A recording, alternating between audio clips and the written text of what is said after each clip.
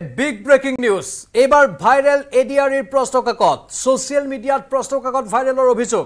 মোবাইলে মোবাইলে ভিডিঅ' আকাৰে ভাইৰেল প্ৰশ্ন কাকত দেওবাৰে অনুষ্ঠিত হৈছিল তৃতীয় বৰ্গৰ পৰীক্ষা। পি ডি এফ ফৰ্মেটৰ প্ৰশ্ন কাকত বনোৱা হৈছে প্ৰশ্ন কাকতৰ বনোৱা হৈছে ভিডিঅ' স্পষ্ট হোৱা নাই প্ৰশ্ন কাকত ফাদিলৰ সময়। পৰীক্ষা কেন্দ্ৰত নিষিদ্ধ কৰিছিল মোবাইল ফোন ইলেক্ট্ৰনিক সামগ্ৰী। নিষিদ্ধ তালাচীৰ পাছতো ভাইৰেল হ'ল এ ডি আৰ ইৰ প্ৰশ্ন কাকত পৰীক্ষাৰ সময়ত কৰ্তন কৰা হৈছিল ইণ্টাৰনেট সেৱা। গোটেই ৰাজ্যজুৰি ইণ্টাৰনেট সেই নিৰ্দিষ্ট চাৰে তিনি ঘণ্টা বা চাৰি ঘণ্টা সময় বন্ধ হৈ আছিল। তাৰ পাছতো এনেধৰণে প্ৰশ্ন কাকত ভাইৰেল হোৱা বিষয়টোক লৈ এতিয়া সৰ্বসাধাৰণৰ মাজত প্ৰতিক্ৰিয়াৰ সৃষ্টি হৈছে।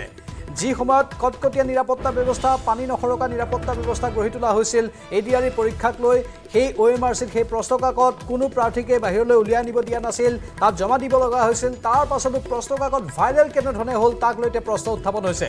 প্ৰশ্ন কাকত যদি ভাইৰেল হৈছে তেনেহ'লে সেই ভাইৰেল হোৱাৰ সময়টো কি? সময়টো যিহেতু গম পোৱা নাই। পৰীক্ষাৰ আগত প্ৰশ্ন কাকত ভাইৰেল হ'ল নে পৰীক্ষাৰ পাছত হ'ল তাক লৈ প্ৰশ্ন উত্থাপন হৈছে।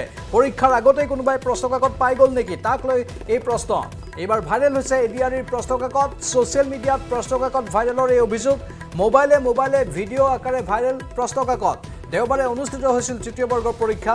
পি ডি এফ ফৰ্মেটৰ প্ৰশ্ন কাকতৰ বনোৱা হৈছে ভিডিঅ' কিন্তু স্পষ্ট হোৱা নাই প্ৰশ্ন কাকত ফাদিলৰ সময়। এয়া পৰীক্ষাৰ আগতেই সেই প্ৰশ্ন কাকত লিক হৈছিল নে পৰীক্ষা অনুষ্ঠিত হৈ যোৱাৰ পাছত হ'ল তাক লৈ এতিয়া সন্দেহৰ সৃষ্টি হৈছে।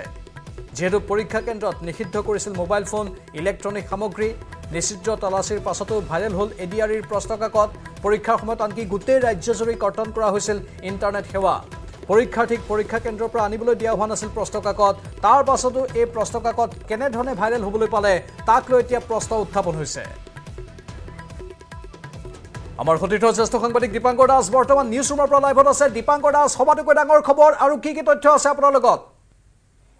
নিশ্চয় প্ৰাঞ্জল চাওক এটা ডাঙৰ খবৰ কিয়নো এই মুহূৰ্তত হোৱাটছআপৰ গ্ৰুপে গ্ৰুপে হওক অথবা ছ'চিয়েল মিডিয়াৰ ফেচবুকৰ পেজতেই হওক আপুনি আটাইবোৰ ঠাইতে বৰ্তমান দেখিবলৈ পাব যোৱাকালি অনুষ্ঠিত হৈ যোৱা ই আৰ ই ডিৰ এক্সামৰ এই প্ৰশ্ন কাকত আৰু বিশেষকৈ একৰ পৰা আপুনি ডেৰশ নম্বৰলৈকে যদি চাই তেতিয়াহ'লে প্ৰতিটো প্ৰশ্ন যোৱাকালি প্ৰশ্ন কাকতৰ হুবহু থকাৰ দৰেই এই পি ডি এফ ফাইলত এই মুহূৰ্তত এই প্ৰশ্ন কাকত ভাইৰেল হৈ পৰিছে। আৰু গোটেই বিষয়টোক লৈ এই মুহূৰ্তত চৰকাৰ প্ৰশাসনৰ ফালৰ পৰা কোনো ধৰণৰ আনুষ্ঠানিক মন্তব্য আহি পৰা নাই। কিন্তু তাৰ মাজতো ক'ম যে একেই হুবহু পুনৰ কৈছোঁ যে আপুনি যদি এক নম্বৰৰ পৰা ডেৰশ নম্বৰ প্ৰশ্নৰ প্ৰশ্নৰ উত্তৰ পৰ্যন্ত যদি চায় তেতিয়াহ'লে আটাইকেইটা প্ৰশ্ন একেই হুবহু কাৰণ কিছুমান পূৰ্বে আমি বহু পৰীক্ষাৰ্থীৰ সৈতে আমি কথা বাৰ্তা হৈছিলোঁ আৰু তেওঁলোকে হুবহু স্পষ্ট কথা কৈছে যে হয় যোৱাকালিৰ এই প্ৰশ্ন কাকতখনেই আজিৰ দিনত ভাইৰেল হৈছে। অৰ্থাৎ চৌব্বিছ ঘণ্টাৰ পিছত এই প্ৰশ্ন কাকত ভাইৰেল হোৱাৰ পিছতে কিন্তু সমগ্ৰ ৰাজ্যজুৰি তীব্ৰ প্ৰতিক্ৰিয়াৰ সৃষ্টি হৈছে। কিয়নো আমি ক'ম যে ৰাতিপুৱা দহ বজাৰ পৰা প্ৰায় দুপৰীয়া ডেৰ বজালৈকে এই যি পৰীক্ষাৰ যি সময়সীমা আছিল সেই সময়সীমাতে কিন্তু ৰাজ্যজুৰি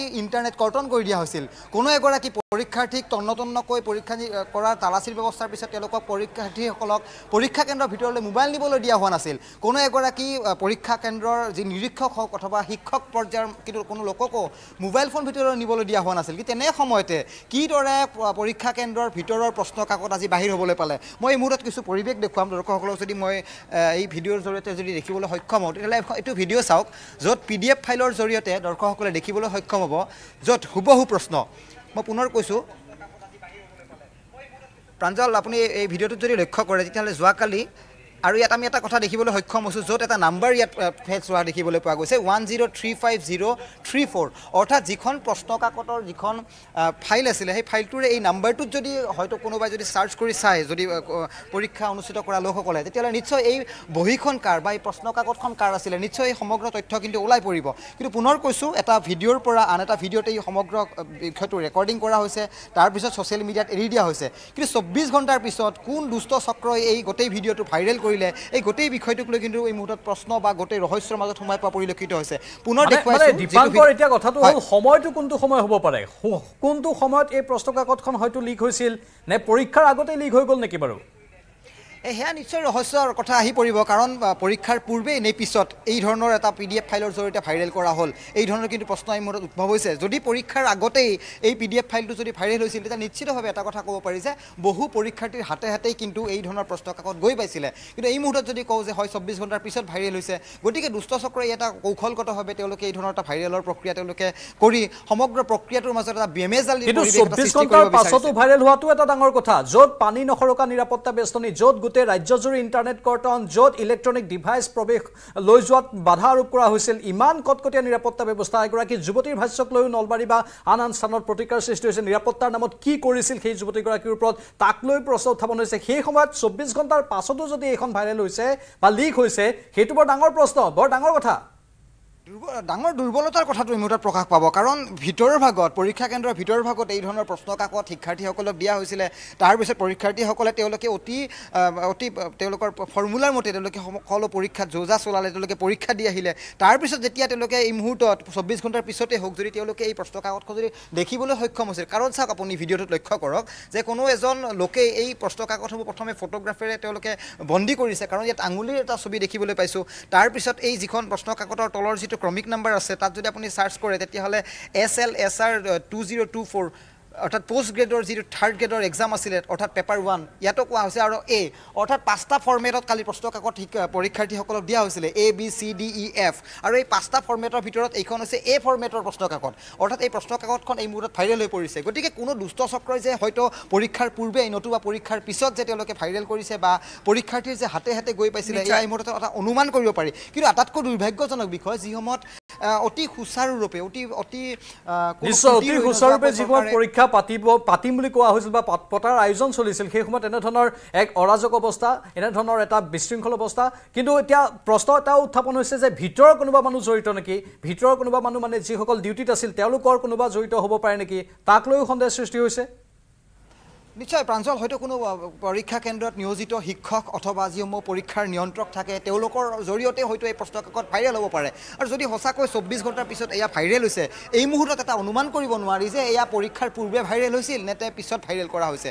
কাৰণ কথাটো ক'ম যে পৰীক্ষা কেন্দ্ৰৰ ভিতৰৰ ভাগত অতি কটকটীয়া নিৰাপত্তা অৱস্থা আপুনি যদি ছাত্ৰৰ ক্ষেত্ৰত লক্ষ্য কৰে তেতিয়াহ'লে সাধাৰণ কঁকালত পিন্ধা বেল পাৰ্ট পৰ্যন্ত ভিতৰলৈকে নিবলৈ দিয়া হোৱা নাই। হাতত পিন্ধা ঘড়ীটো পৰ্যন্ত কেন্দ্ৰৰ ভিতৰলৈ নিবলৈ দিয়া হোৱা নাই। মোবাইল দূৰৰ কথা। কিন্তু তাৰপিছত কোনে এইদৰে প্ৰশ্ন কাকতত অৰ্থাৎ মোবাইলেৰে ফটো তুলি পি ডি এফ আকাৰ দিয়া হ'ল তাৰপিছত এই গোটেই পি ডি এফটো ভিডিঅ' আকাৰে ভাইৰেল কৰা হ'ল আটাইতকৈ ডাঙৰ কথা প্ৰায় এঘাৰ লাখ পৰীক্ষাৰ্থীয়ে এই গোটেই পৰীক্ষাটোৰ সৈতে জড়িত হৈ পৰিছিল। প্ৰায় দুই হাজাৰটা পৰীক্ষা কেন্দ্ৰ সমগ্ৰ ৰাজ্যজুৰিতে আহ, অনুষ্ঠিত কৰা হৈছিল। কিন্তু তাৰপিছত কিদৰে কোনে কোন ডাঙৰ প্ৰশ্ন আৰু দীপাংকৰ চাবলৈ গ'লে এই গোটেই প্ৰক্ৰিয়াটো যিমান ধৰণে কঠোৰভাৱে এটা নিৰাপত্তা বেষ্টনীয়তাৰ মাজতে পৰীক্ষাটো পতা হৈছে দহ বজাৰ পৰা ইণ্টাৰনেট কৰ্তন নহয় আচলতে আজি কালিৰ দিনটোত আমি দেখিছিলোঁ যে পুৱা সাতমান বজাৰ পৰা ইণ্টাৰনেট কাটি দিয়া হৈছিলে বা ইণ্টাৰনেট সেৱা কৰ্তন হৈছিলে।